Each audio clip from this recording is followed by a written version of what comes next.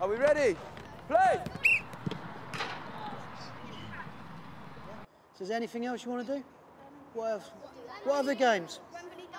Wembley doubles. I used to love Wembley. You going to set it up? Yeah? If you're not sure, Archie will sort it. Go to Archie then.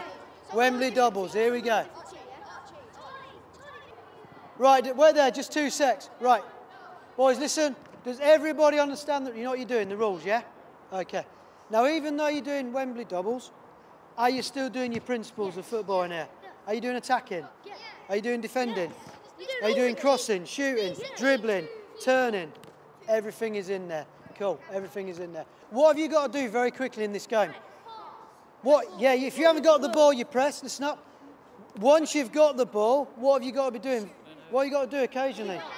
This is one of them games where you've got to be one of them special players now who can work in tight areas, yeah? Off you go. Go on.